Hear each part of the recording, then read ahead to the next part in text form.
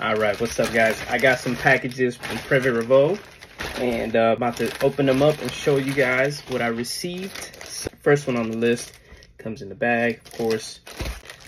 All right, open this up. These cases are amazing. Triangle shape, they're fun cases.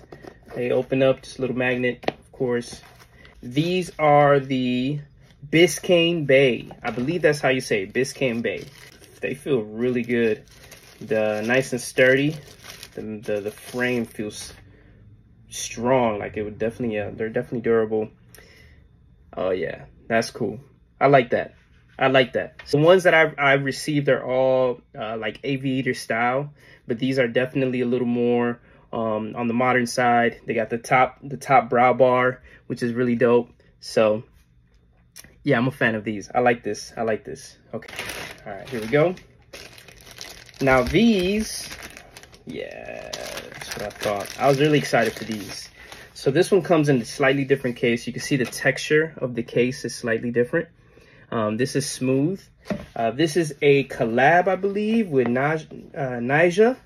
So you can see the little X there is Privé Revaux with Nyjah, um, the collab there.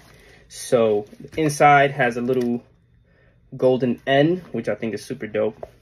Open these bad boys up.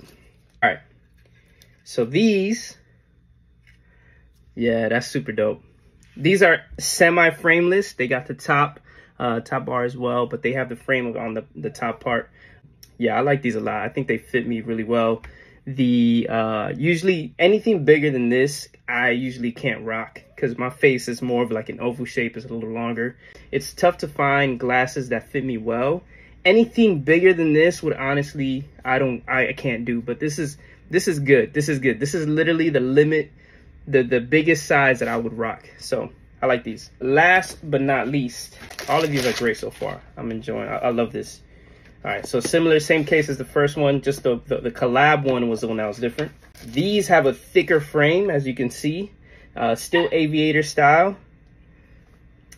Yeah, these are dope. You know, honestly, I used to think for a while I couldn't rock like that flat. Oh, it's not 100% flat. There's a slight curve in there, but I couldn't flat uh, do the flat uh, top brow, but these are dope. I like these. These are really smooth. Um, definitely durable plastic. You can feel it, but it's lightweight. It's not, uh, they're not heavy. So thank you, Revaux. I love my shades. These are amazing. Uh, I will be rocking them and tagging you guys.